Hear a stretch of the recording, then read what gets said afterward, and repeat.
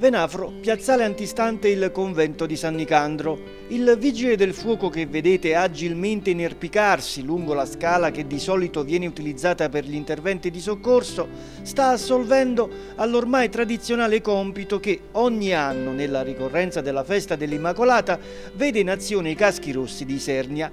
Consiste, come ben testimoniato dalle immagini girate nel corso della mattinata, nell'adornare con una corona di fiori la statua della Madonna che campeggia in cima al campanile della basilica.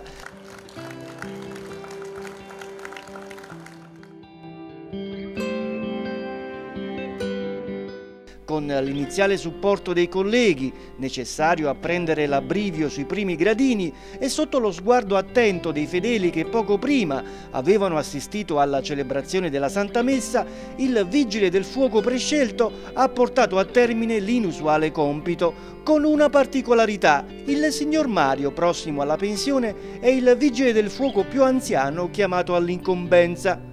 A lui, anche dalla redazione di TV Molise, i più vivi complimenti e un grazie, soprattutto per il lavoro di una vita al servizio della collettività.